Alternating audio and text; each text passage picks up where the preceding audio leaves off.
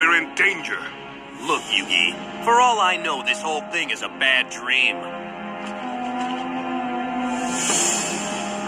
Kisara, rest here and I shall return for you.